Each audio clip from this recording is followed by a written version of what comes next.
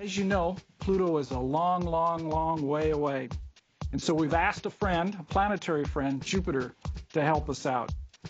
Jupiter is our most massive planet in the solar system.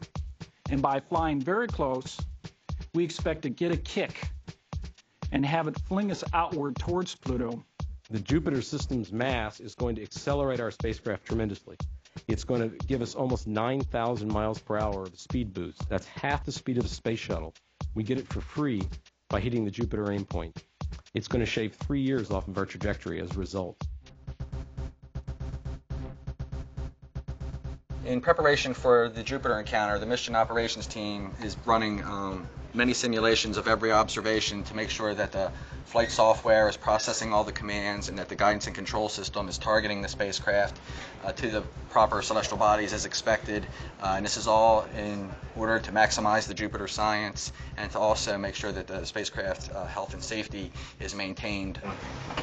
Well, what we're doing is running a, a, simulation of Jupiter observations that are going to take place on closest approach day.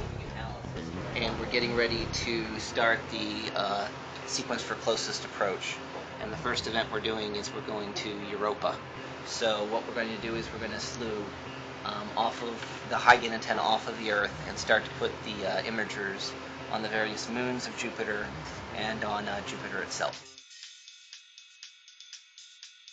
It's very scary to build a spacecraft and then launch it and not get any data for nine years.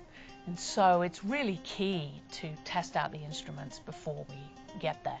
And we've designed this particular flyby to be a stress test on our spacecraft to work out the kinks so that at Pluto, we don't learn a thing about our spacecraft. We've worked out those kinks at Jupiter. The last few months, as we've been slowly turning on instruments, opening doors, essentially removing the lens cap, on our various cameras and uh, taking you know, simple pictures of star fields to get an idea of our focus and our sensitivity have been a very rapid learning process for all of us. And we don't have very much time to do that. The Jupiter encounter is only just over a year after launch because we're going so incredibly fast with this spacecraft. So we're having to learn these things very fast. Definitely not any boredom. It's been like sprinting for a whole year. We're ready for hibernation, I think, to slow down a little bit. So it's been fun. We've been kept busy. You can always rehearse in empty space, but that's never quite the same as actually trying to target real objects and solve real problems. The GNC is about to conduct a color image of the moon of Io using the Ralph instrument. Copy that. Will it be LEISA or Ente? It's not so much that it, it practices the spacecraft, because the spacecraft can practice perfectly fine in empty space. It's that it practices the team. You have to be so careful with the spacecraft. It's so precious to us. We can't turn too fast because it uses too much fuel, and we have to conserve our fuel for Pluto and the Kuiper Belt. This will be a wonderful dress rehearsal for the whole process of putting together a complicated sequence. And we only get to do it once at Pluto, so having this practice at Jupiter will be very valuable for that. Go ahead, GNC. This occultation will be the last event prior to closest approach.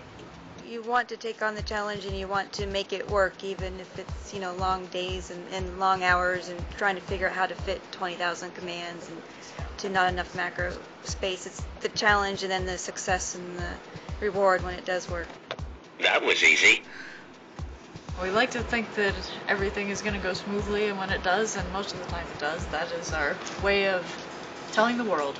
So it's more intense than by several orders of magnitude than anything we've done as far as memory usage, uh, which translates to number of commands. It's, it's more intense actually than our Pluto simulations we did pre pre-launch. By the time we go through enough of these simulations, we hope that everything on the real spacecraft is fairly smooth and easy. That's why we do them sim after sim after sim. The current distance from Jupiter is 2.3 million kilometers. Copy that. We're at closest approach, and here goes our slew.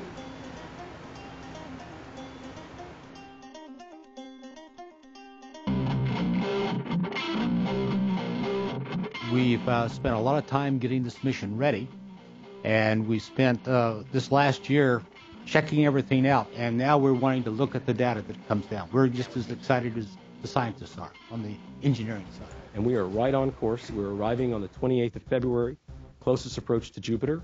We will be simultaneously doing science and learning about the spacecraft and learning even better how to fly by it. And by the time we, we have Jupiter in our rearview mirror, I think we'll have a, a really great understanding of how this, this machine works and how we work together on it. And we'll be just making sure we remember all that for the next eight years until we get to Pluto.